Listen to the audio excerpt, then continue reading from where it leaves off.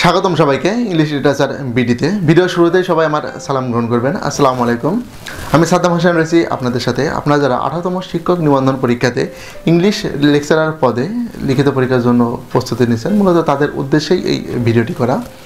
তো এ পদের জন্য আমি বেশ কিছু ভিডিও কিন্তু ইতিমধ্যে আপলোড করেছি এবং আমার পরিকল্পনা রয়েছে সম্পূর্ণ পূর্ণাঙ্গ কোর্স আমি আমার এই চ্যানেলে আপলোড করব পর্যায়ক্রমে এবং তারই ধারাবাহিকতায় আজকের এই পর্বটি। তো এ পর্বে আমি ফিগার অফ স্পেস নিয়ে আলোচনা করব এবং সিমিলির কিছু উদাহরণ নিয়ে আলোচনা করব। আশা করি এই পর্বে যে বিষয়টা নিয়ে আলোচনা করা হবে বা সিমিলির যেই উদাহরণগুলো নিয়ে আলোচনা করা হবে, এই পর্বটি দেখার পরে আপনাদের এই বিষয় নিয়ে আর কোনো সমস্যা থাকবে না। তো আমার কাছে একটি বই রয়েছে। এই বইটি মূলত হচ্ছে শিক্ষক নিবন্ধন পরীক্ষার জন্যই লেখা একটি বই। এই বইয়ে লিটারি টার্ম এবং ফিগার অফ স্পিচ যেগুলো পরীক্ষায় আসে বা আসার মতো খুবই গুরুত্বপূর্ণ লিটারি টার্ম এবং ফিগার অফ স্পিচ, সবগুলোই কিন্তু এখানে দেওয়া আছে। এর বাইরে থেকে কিন্তু কোনো প্রশ্ন হয় না। বিগত সালে যে প্রশ্নগুলো হয়েছে, মোটামুটি আমার নোট করার পর থেকে যে প্রশ্নগুলো হয়েছে, সব প্রশ্নগুলাই এই বই থেকে এসেছে। আশা করি ভবিষ্যতে যে পরীক্ষাগুলো হবে সেগুলো এই বই থেকেই কমন পাওয়া যাবে। তো এই বই থেকেই আমি সিমিলের চারটি উদাহরণ বোঝানোর চেষ্টা করব। আমি যতটুকু জানি বা আমার যতটুকু আল্লাহ তালা জ্ঞান দিয়েছে বা যতটুকু আমি শিখেছি সেটুকুই আমি আপনাদের বোঝানোর চেষ্টা করব বা আমি শেয়ার করব আপনাদের মাঝে। তো আমি আমার এক নম্বর যে সেন্টেন্স রয়েছে, সেই সেন্টেন্সে চলে যাচ্ছি। এই সেন্টেন্সটা বলা হচ্ছে, Rahman is as slow as a snail যার বাংলা অর্থ হচ্ছে, শামুক যেমন স্লো রহমানও তেমন স্লো অর্থাৎ, এখানে যাদের মধ্যে তুলনা করা হচ্ছে, সেটা হচ্ছে শামুকের সাথে রহমানের এবং কোন গুণের তুলনা করা হচ্ছে, সেটা হচ্ছে উভয়ই হচ্ছে ধীর গতির অর্থাৎ শামুকের সাথে রহমানের তুলনার অর্থ এটাই হচ্ছে যে রহমান কতটা স্লো সেটা বোঝানোর জন্য আমরা রহমানকে শামুকের সাথে এখানে তুলনা করছি। যাতে আমরা বুঝতে পারি যে রহমান শামুকের মতোই স্লো বা ধীর গতির।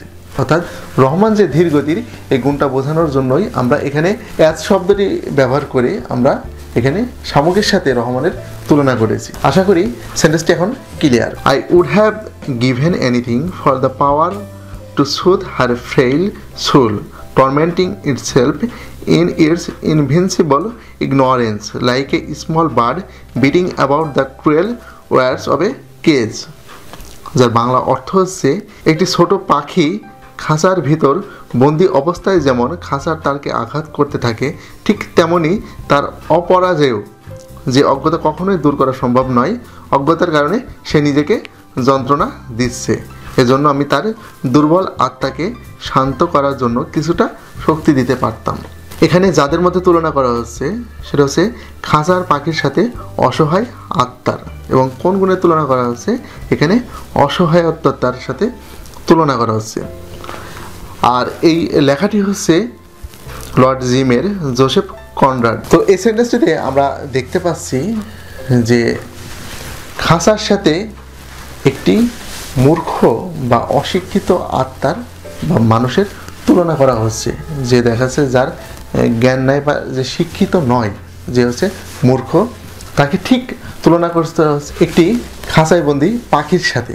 কারণ একটি পাখি যখন খাঁচার ভিতরে বন্দি থাকে, তখন কিন্তু সে অসহায়। তার কিন্তু কোনো কিছুই করার থাকে না। সে কিন্তু বারবার চেষ্টা করে যে আমি বাহিরে যাব, কিন্তু সে পারে না। এজন্য কি করে? সে তার সর্বোচ্চ শক্তি দিয়ে বা তার ঠোঁট দিয়ে বা পা দিয়ে এই খাঁচার এই তারগুলাকে ভাঙার চেষ্টা করে।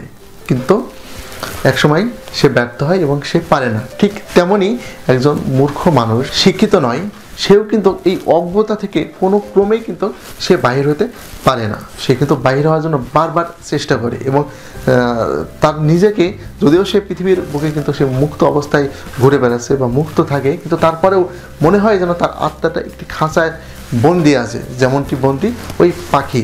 তো আমরা এখানে দেখতে পাচ্ছি যে খাঁচায় বন্দি পাখি যেমন হচ্ছে অসহায়, ঠিক তেমনই একজন মূর্খ বা অশিক্ষিত মানুষও ঠিক তেমনই অসহায়। তো এই মূর্খ বা অশিক্ষিত মানুষটি কেমন অসহায় এটা বোঝার জন্যই এই সেন্টেন্সটিতে লাইক ওয়ার্ডটি ব্যবহার করে এই খাঁচাই বন্দি পাখির সাথে তুলনা করা হয়েছে। আশা করি বিষয়টি এখন ক্লিয়ার তো এরপর আমরা চলে যাব আমাদের তিন নম্বর যে উদাহরণটা রয়েছে সেখানে।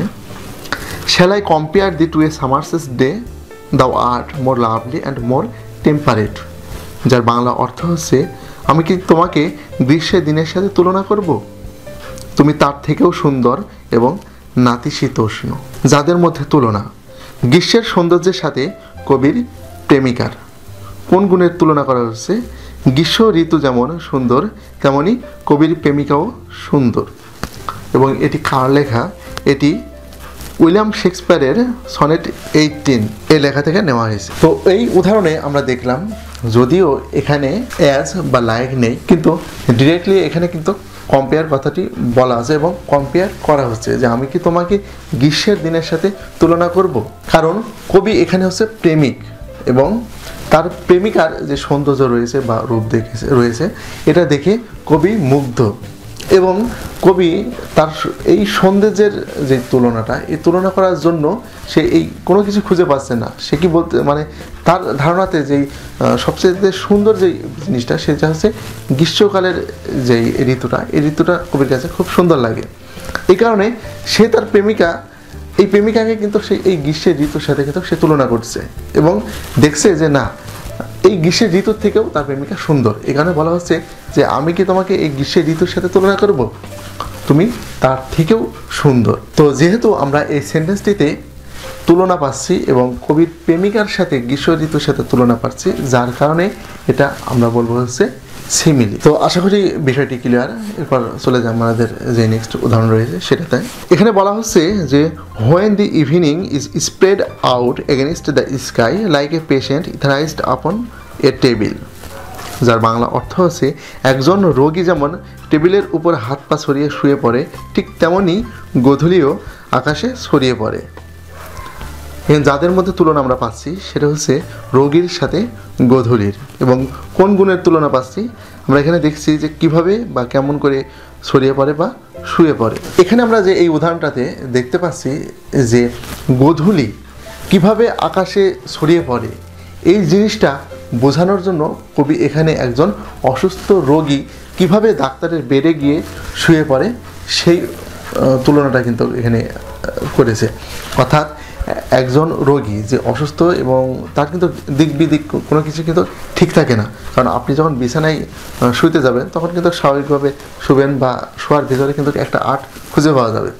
কিন্তু যখন একজন রোগী ডাক্তারের বিছানায় শয়, তখন কিন্তু সম্পূর্ণ শরীর ছেড়ে দিয়ে কিন্তু সে শুয়ে পড়ে। অর্থাৎ তার মানে দিক বিদিক কিন্তু তার ঠিক থাকে না। তো যেভাবে একজন রোগী ডাক্তারের কাছে গেলে বিছানায় শুয়ে পড়ে, চারিদিকে হাত পা ছড়িয়ে ঠিক তেমনই গোধূলিও আকাশে এভাবে ছড়িয়ে পড়ে। তো গোধূলি কীভাবে এই যে আকাশে ছড়িয়ে পড়ে, এই জিনিসটা বোঝানোর জন্য কবি একটি সহজ উদাহরণ এনেছেন। সেই সহজ উদাহরণটা হচ্ছে একজন রোগী, অসুস্থ রোগী ডাক্তারের কাছে গেলে কীভাবে তার হাত পা ছড়িয়ে তার বিছানার উপর শুয়ে পড়ে। তো মূলত আমরা এখানে এই যে গোধূলির সাথে আমরা এই রোগীর শুয়ে পড়া যে বিষয়টা, এখানে কিন্তু আমরা তুলনাটা পাচ্ছি। অর্থাৎ এই সেন্টেন্সটিতে তুলনা করা হচ্ছে একজন রোগীকে কীভাবে সেই ডাক্তার বিছানাতে শুয়ে পড়ে, এই বিষয়টাকে গোধূলির সাথে তুলনা করা হচ্ছে। এবং এই তুলনার জন্য এই সেন্টেন্সটিতে কিন্তু লাইক ওয়ার্ডটি ব্যবহার করা হয়েছে, যার কারণে এই সেন্টেন্সটি হচ্ছে সিমিলির উদাহরণ। আশা করি বিষয়টি এখন ক্লিয়ার তো আজকের এই ভিডিওতে সিমিলের যে চারটি উদাহরণ নিয়ে আলোচনা করা হলো, আমার মনে হয় এই পর্বটি দেখার পরে আপনাদের এই চারটি উদাহরণ নিয়ে আর কারও কোনো সমস্যা থাকার কথা নয়। তো আমি আমার ভিডিও এখানেই শেষ করতেছি। পর্যায়ক্রমে ফিগার অফ স্পেসের যে আরও যে বেশ কিছু উদাহরণ রয়েছে, সেগুলো আমি পর্যায়ক্রমে দিতে থাকব এবং এছাড়াও লিখিত পরীক্ষার জন্য আরও অনেক গুরুত্বপূর্ণ ক্লাস নেওয়ার চেষ্টা করব এবং ভিডিও আকারে আপনাদের মাঝে দেওয়ার চেষ্টা করব। তো সে পর্যন্ত সবাই ভালো থাকবেন। ভিডিওটি যদি ভালো লাগে, অবশ্যই বন্ধুদের মাঝে শেয়ার করবেন। আর কোনো ভিডিও যাতে মিস না হয়, এজন্য অবশ্যই চ্যানেলটি সাবস্ক্রাইব করে বেল বাটনটি চেপে রাখবেন। কারণ বেল বাটনটি যদি চাপা থাকে, তাহলে দেখা যাচ্ছে ভিডিও ছাড়ার সাথে সাথে আপনাদের কাছে নোটিফিকেশনটি পৌঁছে যাবে। তো আমি আমার ভিডিও এখানে শেষ করতেছি। সবাই ভালো থাকবেন। আমার জন্য দোয়া করবেন। আল্লাহ হাফিজ।